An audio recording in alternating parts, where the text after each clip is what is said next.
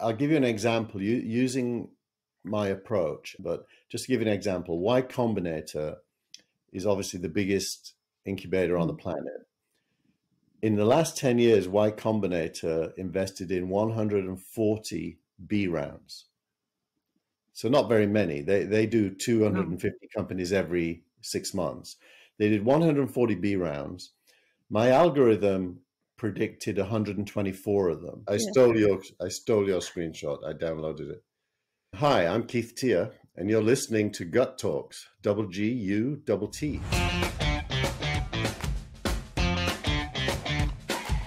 Keith Teare is an English American tech entrepreneur. He has founded or co founded several companies since the early 80s and was a founding shareholder of TechCrunch. He's currently the CEO of SignalRank, that he's been working on for a long time behind the scenes. It's an investment platform that uses data intelligence, which is changing venture investing one data point at a time. He uses his background in political science and sociology to analyze market trends and share them with the world in his newsletter That Was the Week and the show with Andrew Keen. Keith has been an influencer in the tech space for four decades and is genuinely a kind person, and according to his wife, She's never met anyone more optimistic than he is. We talk about his journey and how he thinks, SignalRank, and his approach to building a data only company. So, here we go. This podcast is brought to you by ggutt, fostering a culture of innovation to build better products, ventures, and cultures. I'm Maria, and I enjoy adding value and helping wherever I can, widening my spectrum of thoughts, even if it can sometimes challenge the mainstream. This is why we give data a voice and co create a collective intelligence involving both people who are not always in the limelight and those who are, in order to learn from each other and spread knowledge and critical thinking. All I ask is to rate the show, leave a review, and share it. It's a fantastic way to help other podcast explorers discover our content. I'd love to know more about you and your preferences to continue producing this kind of content so type in go.ggutt.com slash talks. It takes 60 seconds to complete. That's go.ggutt.com slash talks. Now let's get started. Keith, thank you so much for being on ggutt Talks. As I mentioned before we hit the record button, I've been waiting until I hit 100,000 downloads to invite you on the show. I, I want to say a few things. We met in Palo Alto, right? A few yeah. years ago. And I met your dog as well. And you said a few interesting things, and I kept following you, what you're doing. But also, that was the week that you started about three years ago. But that also inspired me and my co host in creating a show in Italian. And I'm not just saying this like that, this is just really on top of mind now. I remember you were talking a lot about the creator economy years ago. You were also writing on Getrevue, then you switched to Substack. It boosted me also in continuing the podcast. So you were just telling me that you're not that interesting offline. So I just want to make sure that even though you think you're not that interesting, maybe I think you um, you have an impact on lots of people, and one of them is me. So I have things I want to talk to you about or ask you about primarily AI, tech, investing, but most importantly, how does your brain function? Like, how do you analyze everything? Your background is in political science and sociology. Yeah. Um, yeah, and you've been an entrepreneur for uh, like four decades. So if you just go back in time into your upbringing as well, and then your studies later on, and yeah. then moving into tech, is there anything that like prompted you to get into what you're doing? I don't know if prompt is is the right word, but the decisions I made in my life were all motivated by the same instinct. And the instinct is to escape irrelevance. I, I, I grew up in a in a very, very poor part of the UK. Uh, it's a, it's a, a beach town called Scarborough that has a small working class population um, that that um, serves the town, which is mainly retired people. And I was the oldest kid of six. Um, and in those days, the men used to drink heavily. They were not nice to their wives, and the home atmosphere was, generally speaking, terrible. And education wise, it was assumed you would leave school at 15 and go and work in a in some kind of a manual job factory, maybe. And I used to go to school every day seeing these factories that I was destined to work in. And the strongest feeling in my head was uh, I had to escape. Um, I had to get out somehow. And, and so that sense of escaping bad outcomes is, is a very strong driver for me you know, when you live in that situation, something bad happens pretty much every week. Something bad happens. So you grow up expecting negative outcomes.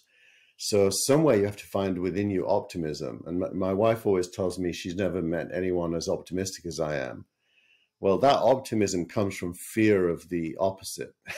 and and and that is deep in your deep in your life, deep in your upbringing and it really is a sense of survival.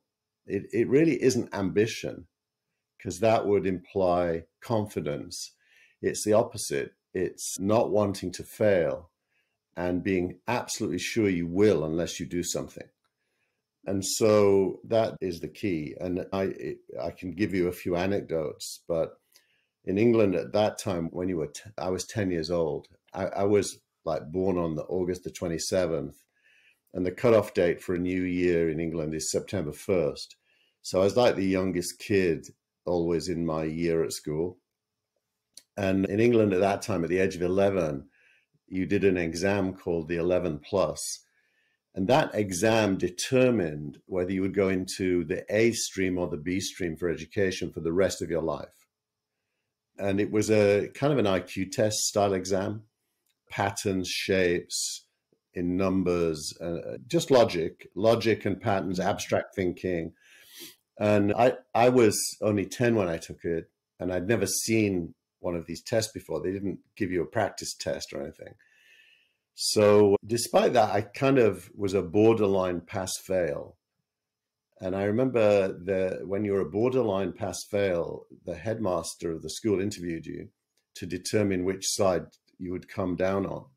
And in my interview, they, they only asked me one question because probably there was a lot of kids and they didn't have a lot of time. What does your father do?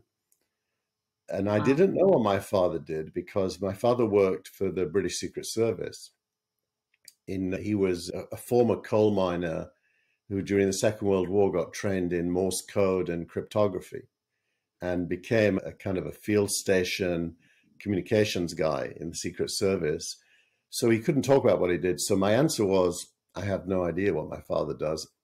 Fail. They put me in the B stream. And, and when you're in the B stream, that's the leave school at 15 path. Luckily for me, in British politics, Harold Wilson was elected as prime minister in 1964. I was born in 1954. So the year I was put in the B stream, he became the prime minister and he brought in a 15, uh, age 15 exam that let you try again and I okay. I got straight A's at, when I was 15, and I went back into the A stream, which is the stream where you can go to university. The the minute I showed up in the new school, age 16, immediately you're doing university applications for two years later. My teacher told me not to apply because I had no chance of going before they even knew me just because of where I came from. So so you can tell either you become a rebel or you you basically carry out the life they tell you is your life. So I became a rebel. I was a rebel. And I was a rebel all the way through. That's why I studied political science and sociology. I, I wanted to analyze why everything was so bad. Wow. Okay. So, so a few things here where did this strength come from at a really young age to be like no i'm not going to take this like what's given to me for an answer or uh, the only option?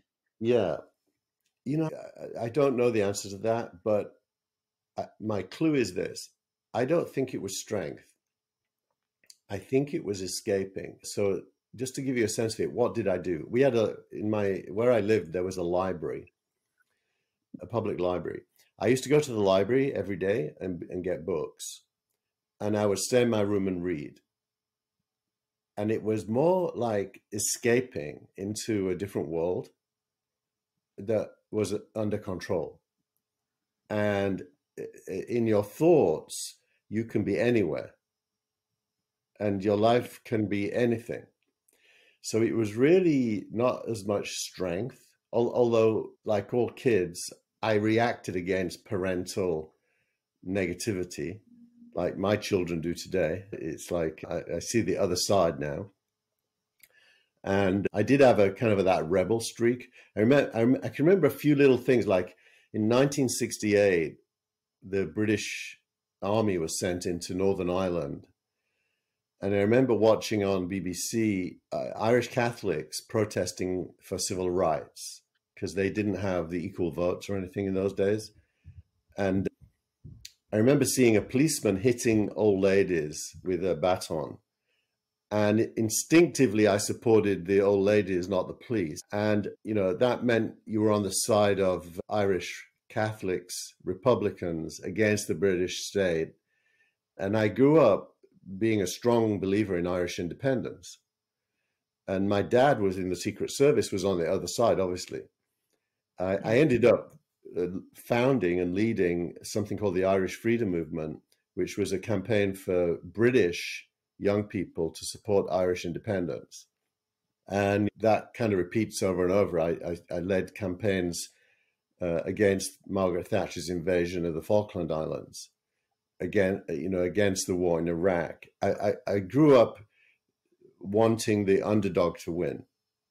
So you started in politics, and then you thought that maybe tech can have a greater maybe impact or yeah. When I was younger, I thought politics could change the world. Obviously, at some point it can, but when I was still very young, Ronald Reagan became the US president and Margaret Thatcher became the prime minister of the UK. And it became very clear that politics was not a path that you could control the outcomes very easily. And I learned to code when I was about 21. I bought mm-hmm. some of the first computers. I was very curious about computers. And I learned to code in order to do digital campaigns to raise money for political causes. So they were they were kind of joined together. And as soon as I could code, all the people I knew started asking me to do things for them. Could you do this? Could you do that? And and it ended up when I was in my late twenties. I started writing systems. Uh, I wrote the A and R music system for Warner Brothers Music, and I I wrote a skills passporting system for Mobil Oil that determined whether somebody could go on to an oil platform with a skill to do a job.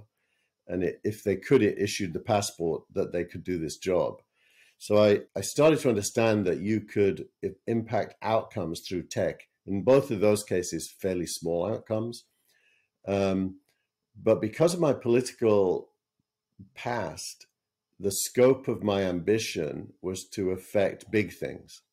I, I wanted to impact big things. And, and so I transitioned really from being I was always fairly entrepreneurial. If I tell you when I was just finished my undergraduate degree and I had started a PhD, I didn't have any income, but I managed to persuade a mortgage company to give me a 100% mortgage to buy a house in, okay. in, in Birmingham. And I rented out four of the bedrooms. It was a five bedroom house to pay the mortgage to my friends, actually.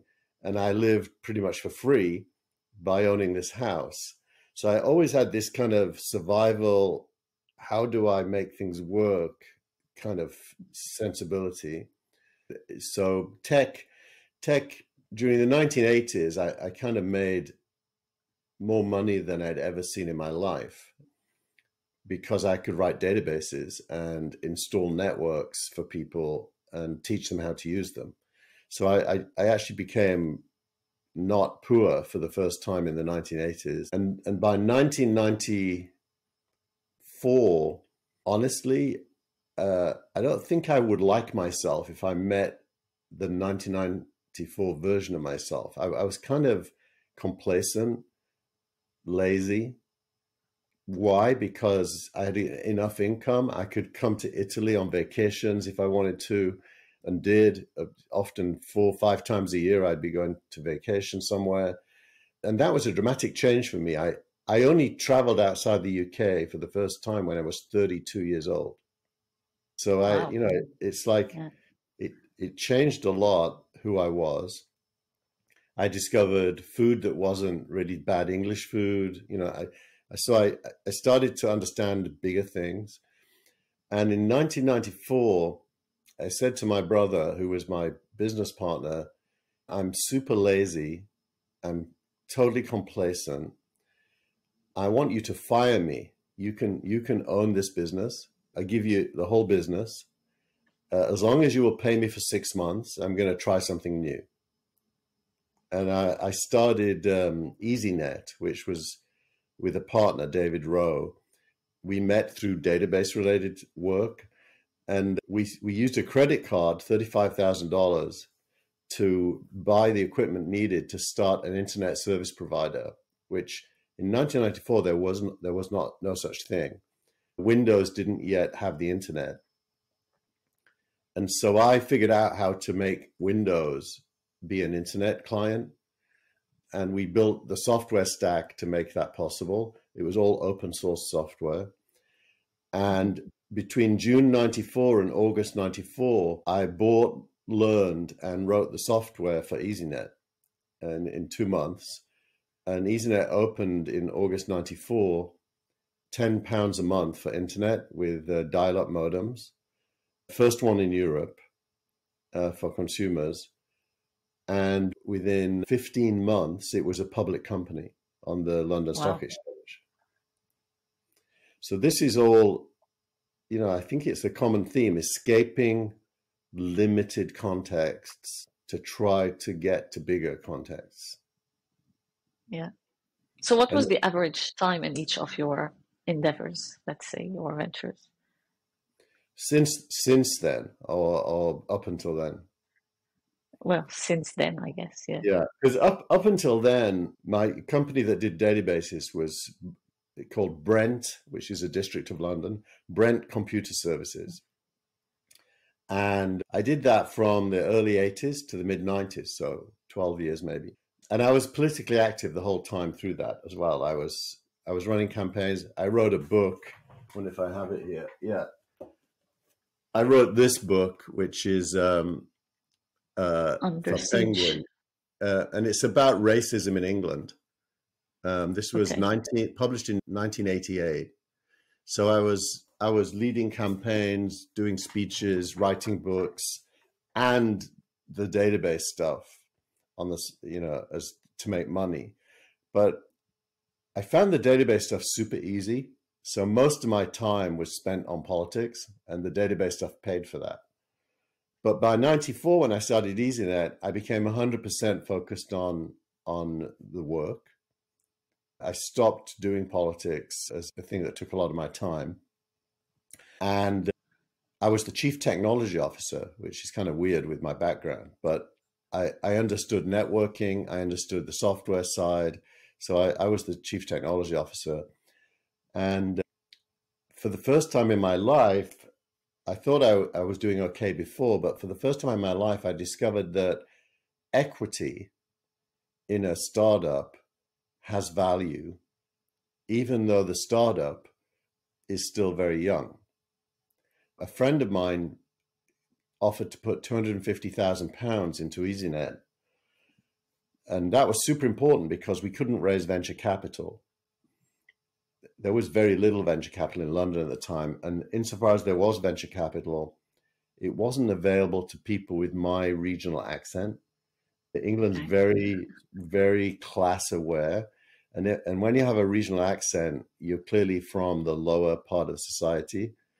And, and so when we met venture capitalists, within five minutes, you knew they were not going to give you money because uh, you just would, were not one of them. The pattern recognition didn't work for them.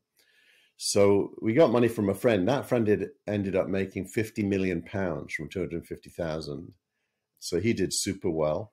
And we IPO'd. And after the IPO, companies become very boring after an IPO because what happens is they don't want to innovate anymore. They just want to grow revenue. Mm-hmm. So I actually left EasyNet a year after the IPO. Okay. And so, and, I, and in order to, order to leave, I had to sell my shares, which I actually probably didn't have to, but I was naive and I was told I had to, so I did. So I sold, I owned 20% of EasyNet. I sold it for five million pounds. A year later, the same shares would have been worth 200 million pounds. Wow. Okay. So, however, what, what's made you sell them? Was it an easy thing? Okay, I'll just sell them. Well, there was a buyer, an institutional buyer called Hall Gavett, which is a big hmm. private equity house. I should have been clever enough to realize if they wanted to buy them, I shouldn't want to sell them. But I did sell them and I moved to the US. And okay. I, I mean, from my point of view, I had more money than I could have ever dreamed of. I could buy a house, which I'd never been able to do before. I did buy a flat in London actually earlier, but this was the first time I bought a, a house. And I was two years married by then. I got married in 92. We, uh, we only had our first kids in 2001.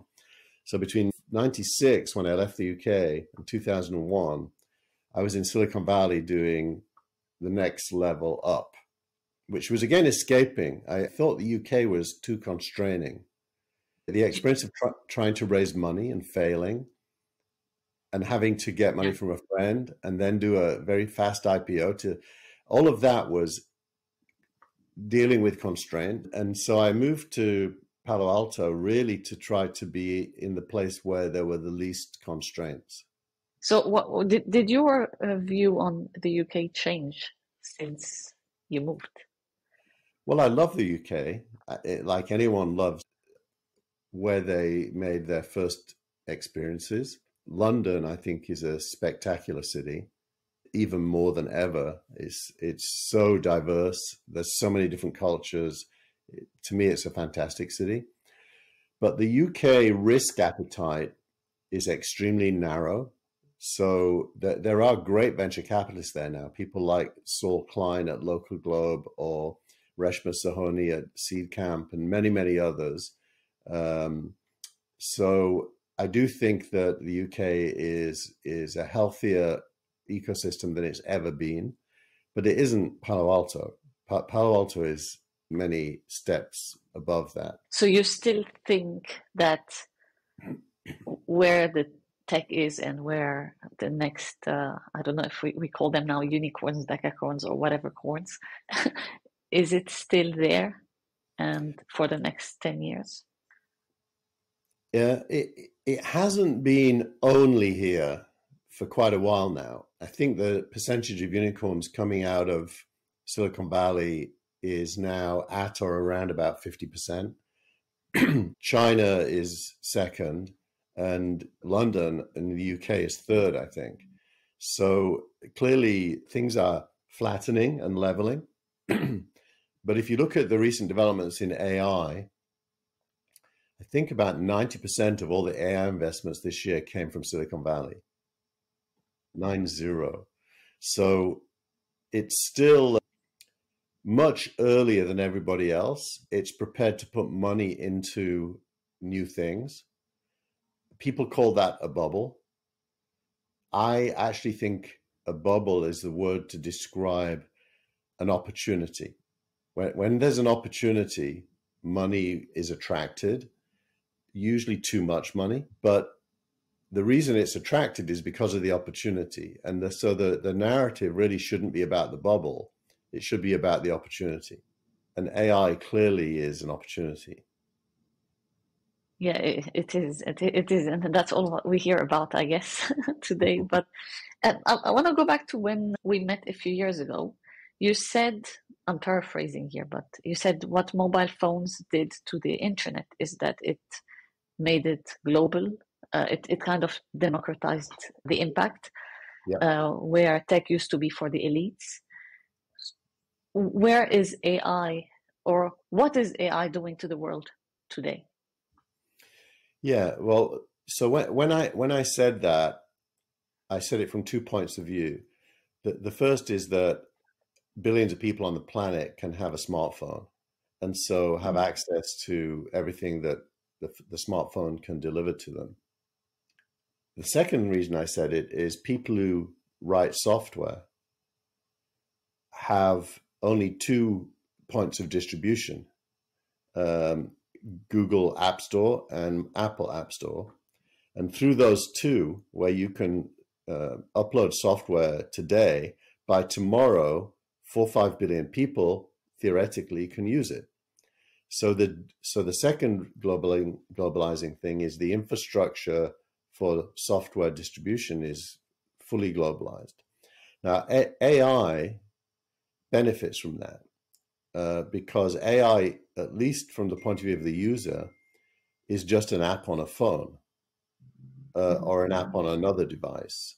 Or uh, you know, with this new device that was announced this week, the PIN, it's it's software running on a uh, on a device that doesn't have a screen. Um, yeah. So AI to me uh, couldn't really um, be distributed if it was not for what happened with mobile. But the second part is it couldn't even be created without developments in in computational power.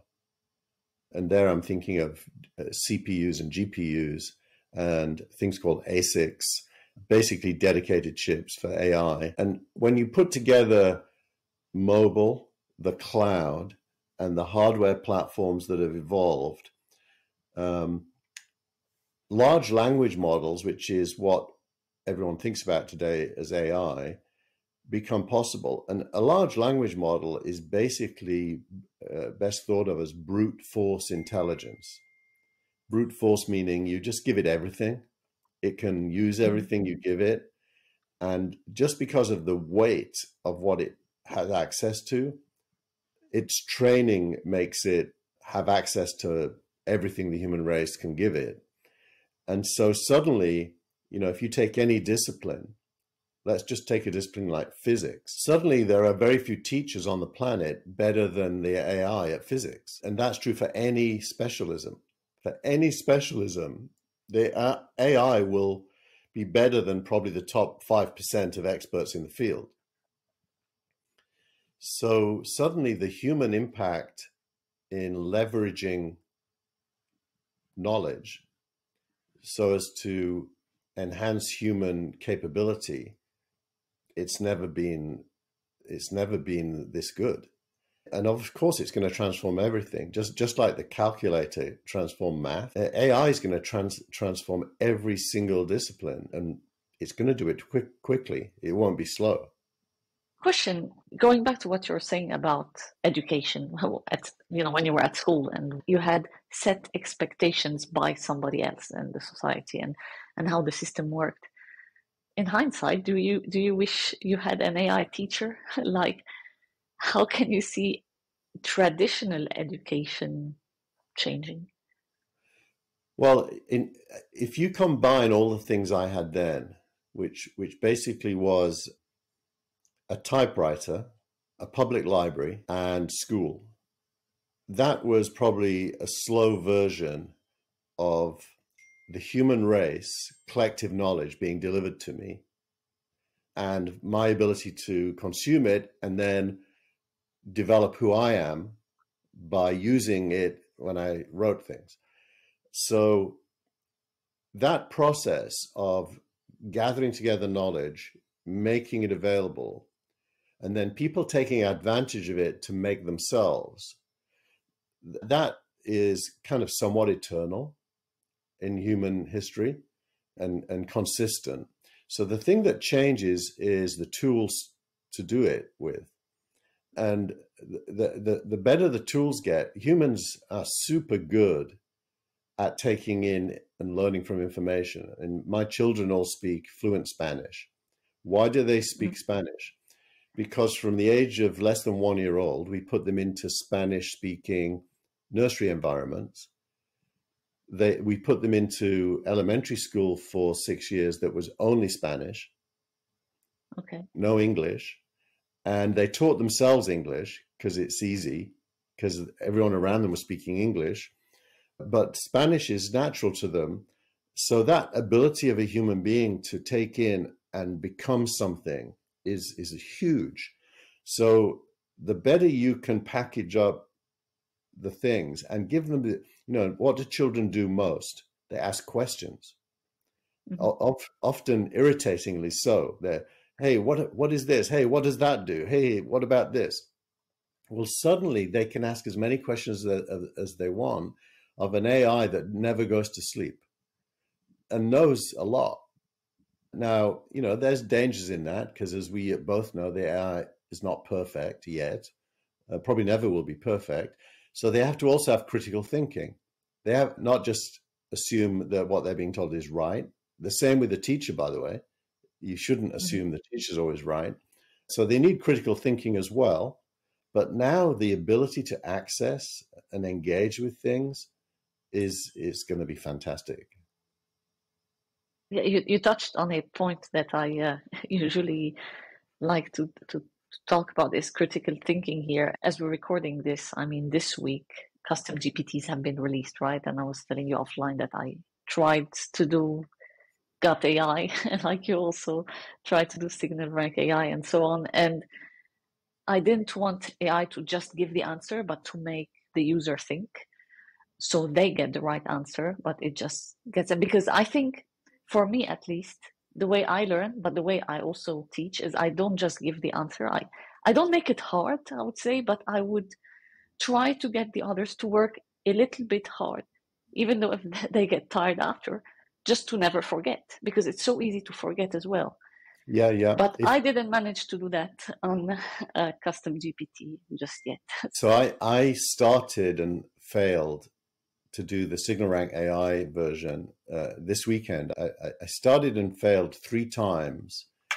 Every time I failed, I learned something about why I failed. And so the most recent one I did is way better than the previous ones. Hmm. It still isn't perfect. It's all to do with what do you give it to learn from and what parameters do you put around it for using what you give it and to what extent do you let it think for itself versus training only on your data uh, will result mm-hmm. in very different outcomes? So yeah there's a lot of trial and error like with any tool. I, I once bought myself a synthesizer because i thought I, I could hear music in my head and i wanted a way to make music and i'm not musical. So i bought a synthesizer and in that case i failed. I think i've bought a synth- synthesizer maybe three times in my life every single time I ended up selling it because I couldn't figure it out.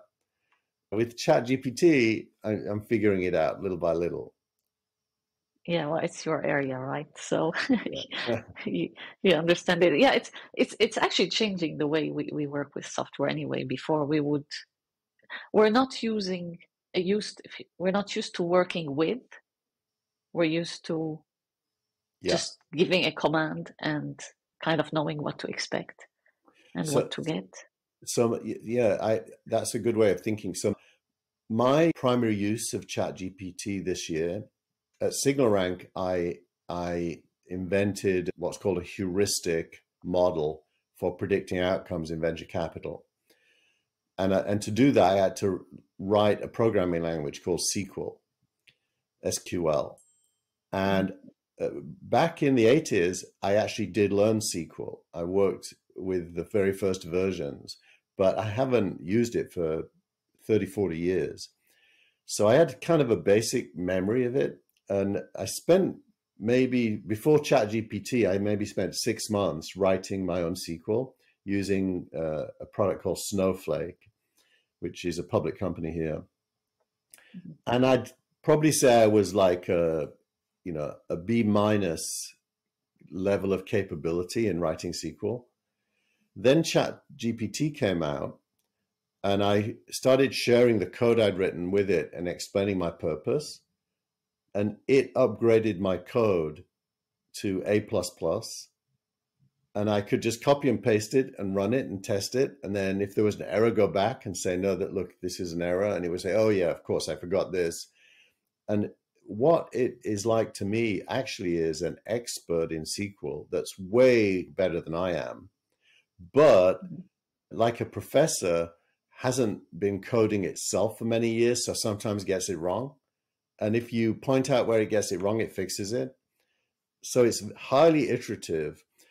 I can tell you, SignalRank's code base could not have been written by me. And I'm the only human to have touched it. So you've written the whole software yourself? I've written the whole software myself for, for single SignalRank. Now, I will say SignalRank has a data science team. They have a totally different project. It's, it's not what I described as a heuristic model. They have a machine learning model that the job of which is to be better than me. And they're miles ahead of me in their capabilities, but their model is worse than mine right now. Uh, my model's better. Okay. That will not be true a year from now because they, they, they've only been doing what they're doing for two years. I've been doing what I'm doing for maybe 10 years. They, mm. they, and they're already almost equal to me in how good it is. So they will get there. So the but the code that's live at SignalRank is all my code. But it's also it has to do with the approach. I mean, you said you have ten years. It's not just number of years. Obviously, it, it's your experience and and what you know. I don't know how to explain. It's just not a number in that case. Yeah, yeah. This is hard to to just like I don't know do in like a year or two, right? Yes, it is. The first the first tests I did, I've still got the spreadsheets, were in 2013. And wow, in 2013, okay. I wrote spreadsheets that tried to test some assumptions I had about venture capital.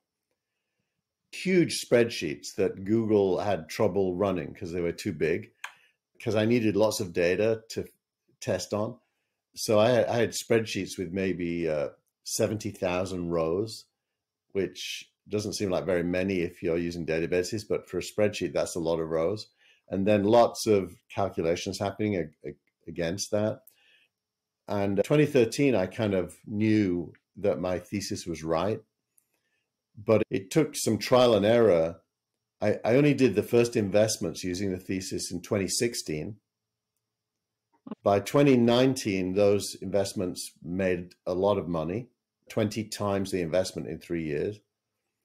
And then I knew it worked. And I only started SignalRank in 2021.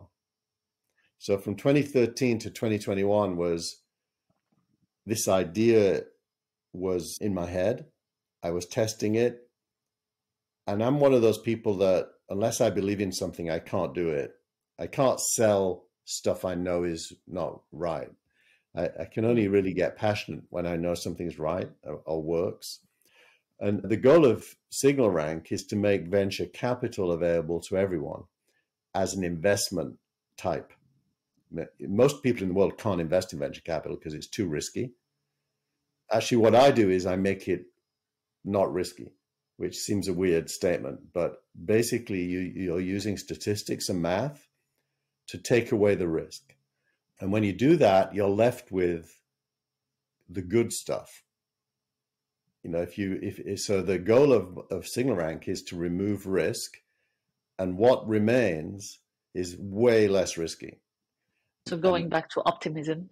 Yeah, exactly, exactly. How did you come up with this idea? Like, what is it? Just an overnight thing where you had, or like while showering, or I don't know, you had this. Because it's, as you said, it's a big statement to do, actually. It's it well, it started with a with a question. I wrote an essay in 2013. It's called the essay is on Medium. It's called "This Is Not Silicon Valley." So if anyone Google's "This Is Not Silicon Valley" and Keith Teare is the name, it'll come up in Google.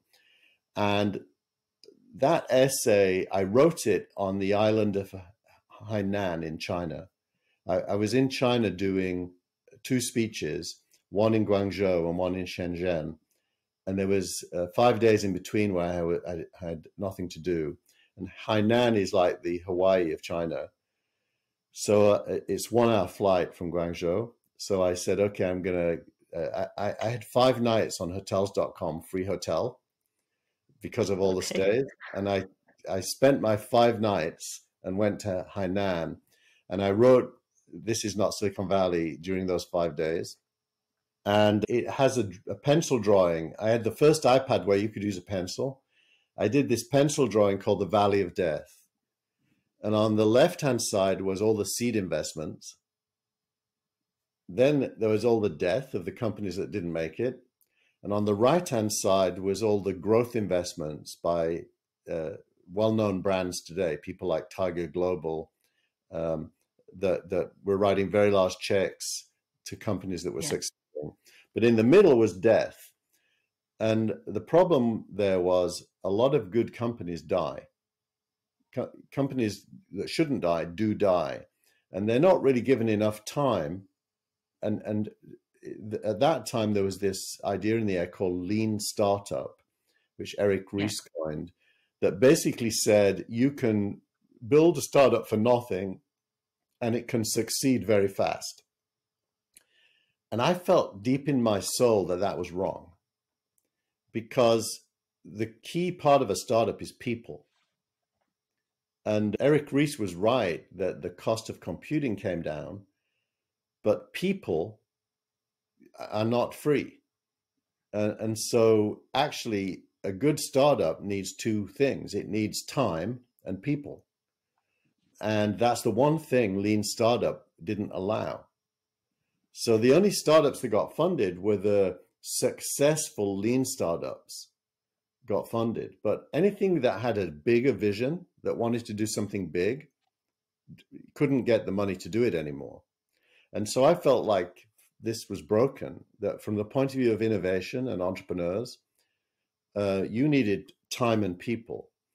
So this is not Silicon Valley was my statement that short termism was taking over from long term thinking. And so then I said, okay, how do you get by the way, at that time, there were lots of unicorns beginning to be formed. By 2013, the word unicorn, I don't think it had been coined yet, but maybe it had. And so the question I asked is how could more founders understand how to build a unicorn and benefit from it? And how could the early investors who invest in these companies not lose their investment in this valley of death. And so I had lots of questions in my mind about the very structure of venture capital. And that started my brain thinking. And the first thing I asked is Are there any patterns that help you understand very, very early which companies are likely to be unicorns? And so the math of SignalRank is answering the question as early as possible what are the chances of this company becoming a unicorn? And I can answer that question about three times better than the average performance in the market. I can answer it at the seed round, the A round, the B round, all funding rounds for those who aren't familiar with venture capital. At the B round, I can predict a unicorn one out of three times. Wow. Okay. Uh, at the A round, I can pick a unicorn one out of seven times. At the okay. seed round, I can pick a unicorn one out of 10 times. Well, it's still better than a, way a better. fund. so. better than any fund. Yeah. And, and, um, and, and, and I have a kind of a way of doing that.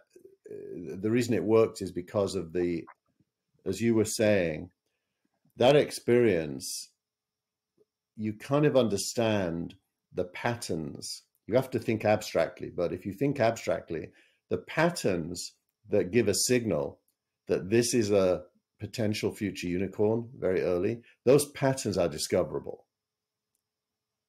The, thing that's going through my mind is you're taking qualitative data primarily and making it quantitative with yes. numbers. Yeah. How is that working? In, well, in this case, because you're you're having good predictions. I mean, yeah. I mean, there's a fund here in the UK. Actually, I forgot uh, the name, but they were supposed to raise their third fund, and they're not doing it. And they invested heavily in about 50 startups already. Yeah.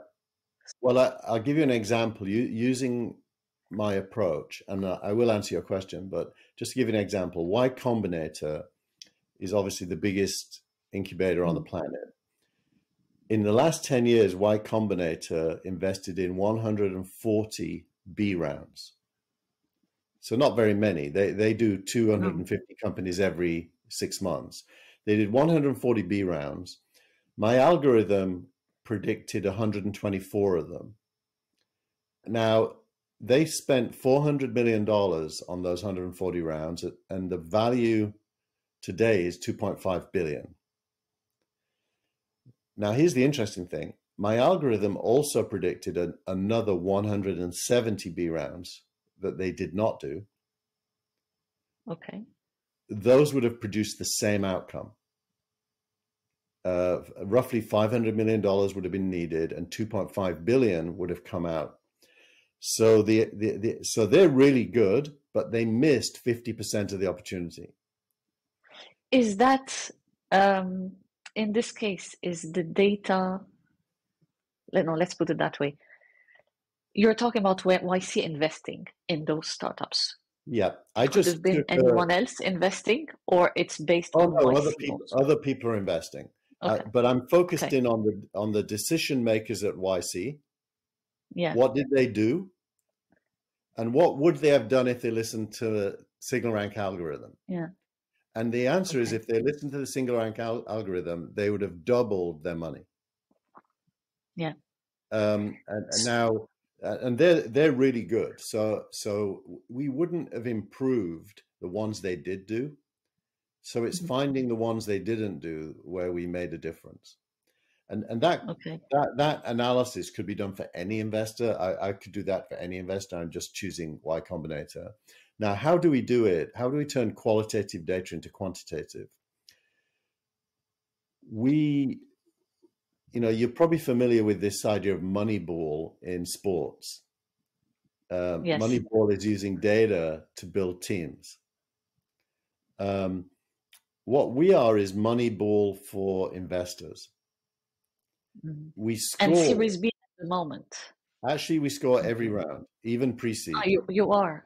We okay, I thought round. you were focusing on Series B. Until, so you've launched everything. Actually, everything's accessible. Everything is launched except we only we only write checks at Series B, but we score. Yeah, okay. But we score everything. And okay. the reason we score everything is you can't tell how good a Series B is without information about the prior round. Yeah. So a Series B does not stand alone all by itself this company has a history. Now, the company's history is not available as public knowledge.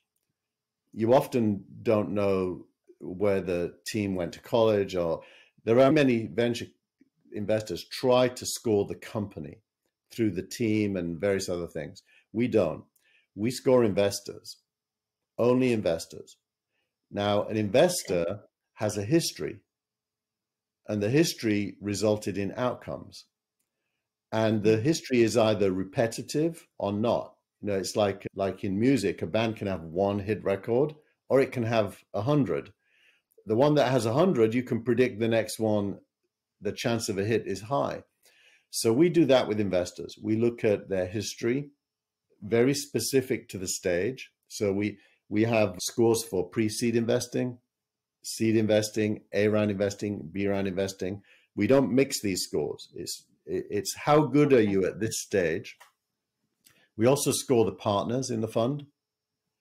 Okay. Um, we we score all of them. Now those scores are based on five years of history. So if you were really good ten years ago, it doesn't matter. You've got to be good now. Um, and and if you were only good last it isn't enough. You have to be good for five years. Um, and, and so that creates a filtering effect uh, like a league table, like in soccer, the number one, number two, number three investor at pre-seed in the last five years. And uh, the definition of good is, is measurable. It's how many investments did you make? How many of them produced positive outcomes versus negative outcomes? How positive was the outcome on a scale of one to 100? Um, how many unicorns did you make? And how many did you not make um, okay. as a relative score? Many, many things. There's, we have about 200 different data points for each investor. And then we create a league table. Now, if, if you then look at a funding round, there may be five investors in a funding round. And I can say, well, what is their collective score? Now, now I have a round score. And hmm. when the company is doing the B round, I probably have three round scores one for seed, one for A, and now one for B. So that gives me a company score. So from investor score, I get to round score, I get to company score. Yeah. The correlation between a company score and the future outcome is very high. So, so you you have to keep updating actually this um, database constantly. It's actually live. We we created a brain. You have That's okay. My, my, heuristic is the brain. Okay. it, it basically has all the variables. Yeah. Every day it gets new information about new funding rounds, and um, it calculates a threshold score equal to this round being in the top 5% of all rounds. And if this score beats the threshold at the B round, that company has a one in three chance of being a unicorn. Okay. And the threshold changes every day according to the data. So is your aim to have instead of one of three, one of two? Is that your next step? Or one one of three is so good um, yeah. you, you, probably can't improve on that easily. Uh, I've tried many ways to improve on it, and they almost n- none of them ever result in improvement. So I think we'll see. Probably we can improve on it. The machine learning guys have a better chance than me because you need to see more variables and how they interact mm. uh, than than the heuristic can deal with. So probably they they, they will eventually get there. Um, now, now just stand back a little bit. Venture capital, everyone knows, is a is what's called a power law game. I'm sorry, I'm if I sound like I'm preaching here. The power law says this: if you make a hundred investments, one of them will make you a hundred times your money and return the entire investment. So it's gambling. Venture capital is gambling, and you you it's very different to say in the public markets you can invest in an index like the FTSE 100 or the S&P 500 and you can get the average results of the market in, in into your bank account. In venture capital historically there's been no way to index venture capital uh, because of this widespread of outcomes uh, if you would have invested in every single B round in the last 10 years, you would have had to have made 19,000 investments and you would have gotten 300% gain. So it would have been a good decision if you could do it. But nobody can invest in 19,000 B rounds. What SignalRank has done is created a subset of B rounds that in five years, the average outcome is five times your money the average. And in order to achieve the average, you only need to make 10 investments. Um, okay. 10 investments removes the randomness. And so instead of the power law where you've got to pick one in a 100, we can pick 10 and deliver five times your money in five years on average. Of course, uh, that's not a promise. Markets change, but based on history, that's what we would have done. And uh, and we can pick one in three unicorns based on history.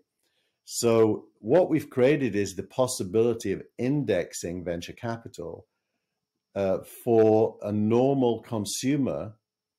It's better than a savings account. So yeah, no, it's uh, it's uh, it's fascinating actually. What uh, because I've always heard you talk about the SignalRank, but I never understood re- like exactly what it did. So yeah, well, so now you know that we're very early because the full end game for SignalRank is to own lots of companies B rounds, hundreds. Yeah. And okay. for SignalRank to be listed on the stock exchange so okay. that you can buy a SignalRank share as the equivalent of buying all these B rounds. Okay. So do you so, know more or less when when you're planning to do that? I know when I'm planning to do it. I don't know if my plan will survive the real world, but the, the plan okay. is the plan is between 2027 and 2028. Okay. So we raise money today. Uh, we have we have a pool of shares we sell. anyone can buy our shares today if they're what's called a, an accredited investor. We're not allowed to take money from uh, non-accredited investors, but if you're an accredited investor or, or better, uh, our shares are priced at twenty five dollars, and we sell them every ninety days. And we take that money and we buy B rounds that we score highly. Okay. So it's like an investment uh, program for long term gains, just like a retirement account would be. That's yeah, how you yeah. think about it. Yeah, going back to like where VC funds get their money from anyway. So, uh, but that's um, an interesting model because I think you you can create lots of other companies from what you're doing, uh, yeah. kind of alternative businesses and so on just from the data you have like how can you improve your like basically some funds? Okay you're not performing well. We can help you you know things like that. Yeah. Yeah no we can partner with there's a there's a thing in seed stage venture capital called an opportunity fund. And an opportunity fund or a continuity fund that's when a fund creates a special pool of capital only for investing more in the companies it already invested in and typically, those funds are very inefficient because there's a strong incentive to invest in more companies than you should in your portfolio. It's called uh, mm-hmm. adverse selection. We want to partner with those uh, funds to provide the capital. So instead of them raising an opportunity fund, uh, we we will supply the capital uh, like uh, any fund investor would, but only in the companies that score highly. So you create a competition amongst yeah. them as well. Yeah. Um, I mean, this is changing the model anyway. I mean, I've been listening to you for a while, right? And you've been saying that venture capital is changing anyway. And now with AI, it's going to change even more. So, yeah. uh, where you might not need to raise uh, money or probably in the way you used to. So, what's your take on this? And where is SignalRank in this like change? Yeah, it's interesting. So Chamath Palihapitiya did a speech this week saying that it is not impossible that startups will become one or two people with an AI mm-hmm. and will figure out how to make large amounts of value without building teams or infrastructure. He said that if that happens, there'll be no longer a reason for venture capitalists. And David Hornik, who is a, another venture capitalist who was at August Capital and now runs his own fund, disagreed and said, you know, if that ever happens, it's decades away. And what is required now is infrastructure, all the different layers required to make AI work. And those are real businesses, and venture capitalists are going to be still required for a long time. So there's a debate around that. SignalRank is basically uh, a statistical analytics company. You could think of us as a fintech because we've created an asset class. The asset class is uh, B round investments uh, through partnerships with seed investors. We basically give them the money and they put it into their companies. So we're a fintech that uses AI to create statistical analysis on likely outcomes and we're mm-hmm. we're you know the, the, the heuristic is really really good at correlating to outcomes. So we, we, you could think of us as a digital venture capitalist. We're, we're not data driven. We're data only. We don't use data as a supplement to human decision making. The humans serve the data. The data says make this investment. The humans make it happen. And so the di- the idea of a digital venture capitalist being able to rank likely outcomes, I don't think that goes away. I think it just gets better and better. Today, however, our ability to be good relies on scoring actual venture capitalists. If, if there were no venture capitalists, we wouldn't be able to score them. So in, in the future, we'll be scoring algorithms. So uh, you're not, you're getting ready for that. Yeah, is um, Signal, I mean, I guess SignalRank is global, right? We made already this year, we only started investing in March, I should tell you that. Uh, we only started selling our shares for investment purposes in March. And so the first mm-hmm. money came in in March and we started investing in in June actually. We've done we've done nine investments in B rounds so far, led by people like Sequoia Capital, Accel, Andreessen Horowitz. I mean, top top B rounds. So we solved the access problem. That because knowing the good companies is only half the story. You have to be able to put money into them. Yeah, um, sure. And so we solved the access problem, and I think we'll end up in the next 10 years, we'll probably do 500 investments in B rounds as, as part of this index. And no single investment will be able to really change the results. It's going to be the collective uh, yeah. average of all of them. Sorry, and, I, I forgot. That's global. And that's global. Yeah. Oh, oh, that's why I was saying it. So in the first uh, nine, uh, I think Six are in the US and three are not. Um, I have a question here because I um, did a, a, podcast also with Bernard Moon, and uh, you know they are started in like Asia, Australia, the US, and they're now in Saudi Arabia. Yeah. So, and Saudi Arabia, other than getting football players and investing heavily in culture, um, entertainment, and so on, there's movement also in the startup world, but also it's it's a young population, and uh, it's an active population. And now, the six GCC countries introduced a unified visa for the six countries, and that's going to affect business, not just tourism. So, what's your take on the region, actually? I think we're going to see the largest change in in geographical uh, wealth in the next 50 years that, that we've seen for a long time. Sa- Saudi Arabia, you know, is kind of contradictory because it's a modernizing economy, but it's starting from a set of structures that you couldn't normally describe as modern. So it's it's very modernizing. Um, the NEOM project in the desert is yeah. it's, it's either crazy or spectacular, depending on your point of view and, and probably both. yeah. But now the other part of the world that is very different, but also you need to one needs to understand it is uh, Africa, uh, especially Nigeria. Nigeria is going to become one of the biggest countries in the world in the next 50 years and wealthiest. Uh, it has natural resources and minerals, as lots of Africa does. And then, of course, the one we all know about is Asia, where 66% of the world's middle class will be in Asia by 2050. And the middle class are the people who spend money en masse. So, you know, we're living in a time when the global footprint, if you think of it as weighing scales by country, the, the US is going to go down to weigh less. Asia already is up, weighing a lot more.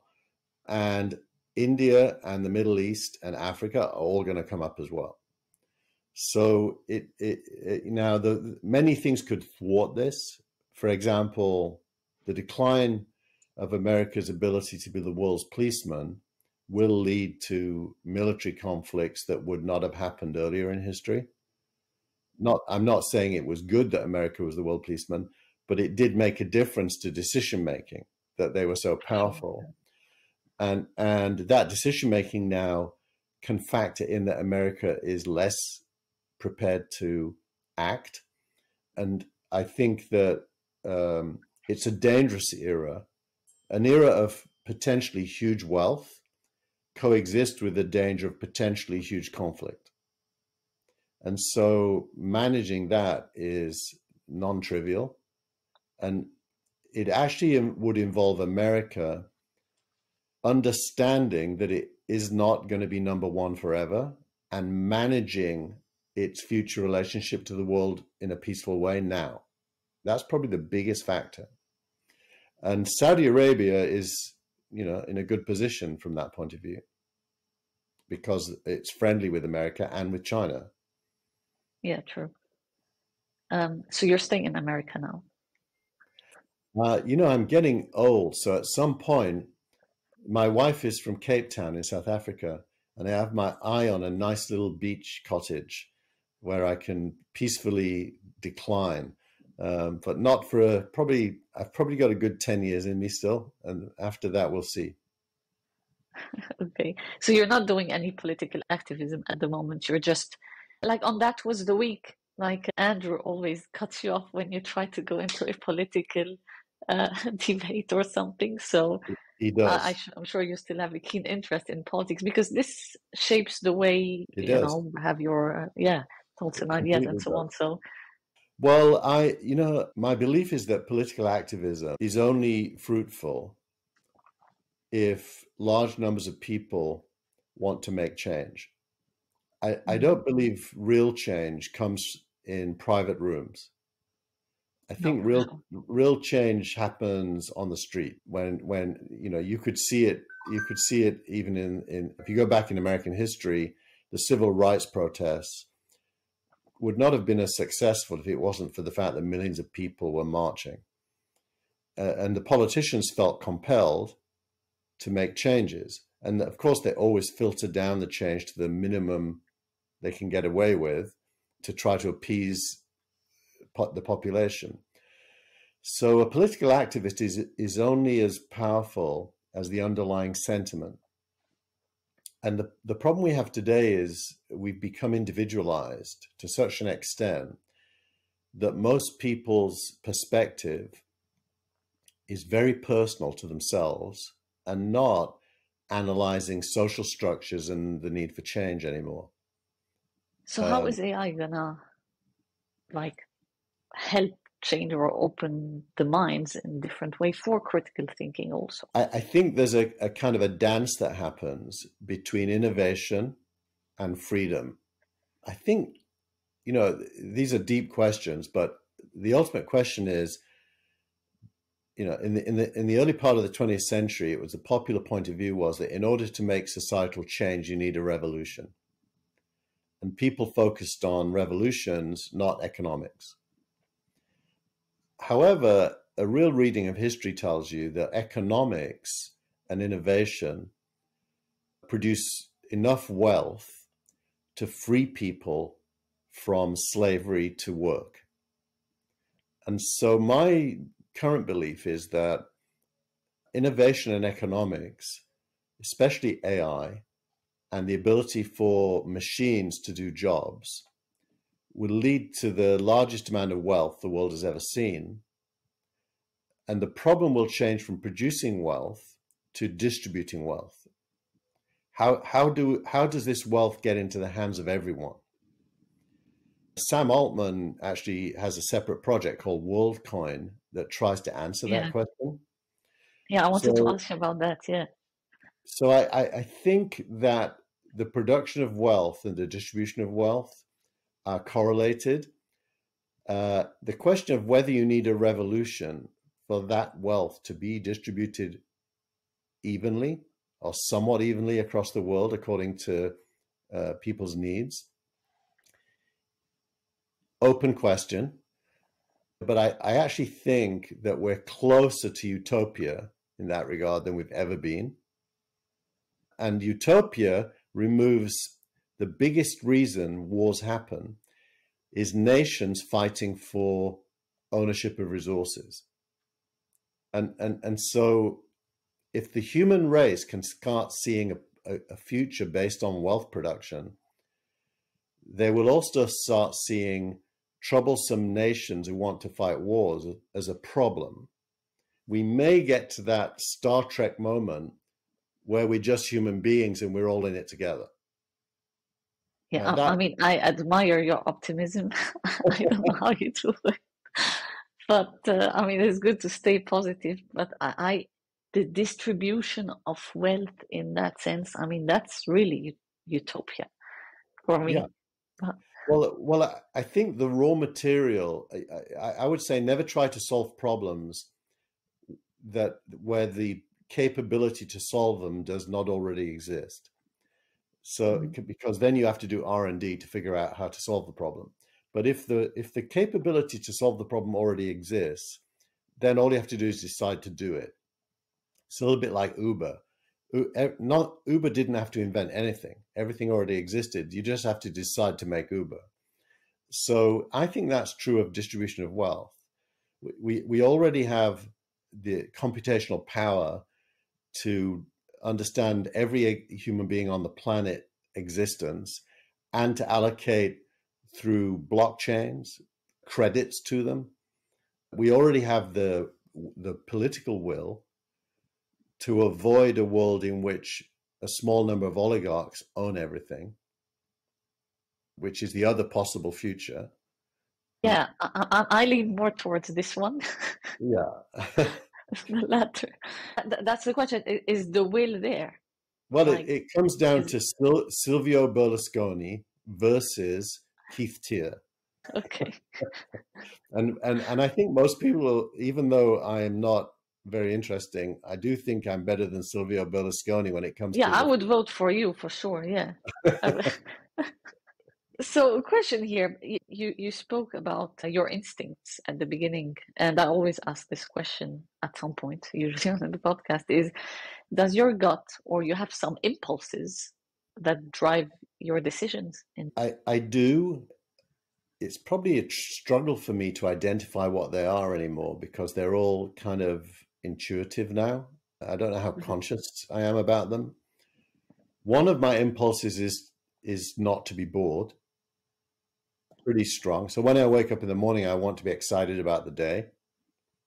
So I, I set myself problems that it's like doing puzzles. You know, I like solving puzzles, in my case, human puzzles. And so something that is broken that needs fixing is a good motivator for me. And venture capital, I think, is one of those. So the first impulse is is not to be bored. The second is to produce an outcome that makes things better than the current outcome.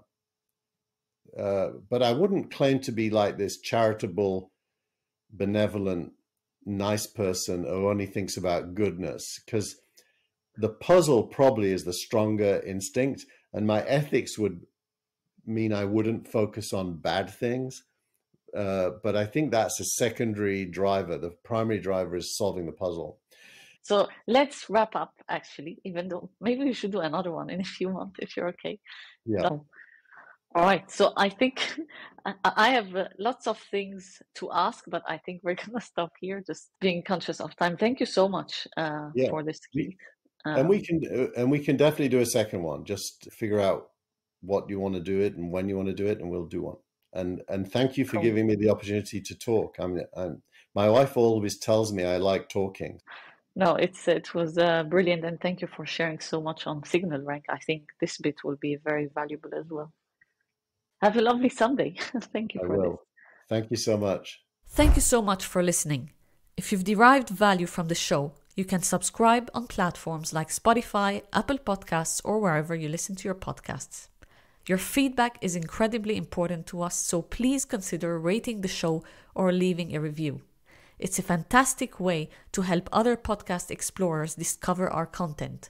To gain more insights, visit our website at ggutt.com. This is ggutt.com, and see you next time.